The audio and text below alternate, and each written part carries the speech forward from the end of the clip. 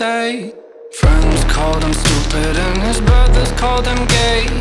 Emptied all the bottles till the pain went away. Whiskey was his friend, he didn't have another. Wicked in his vice, his real lonely lover. Yep. Smoked a pack or two, it never was a problem.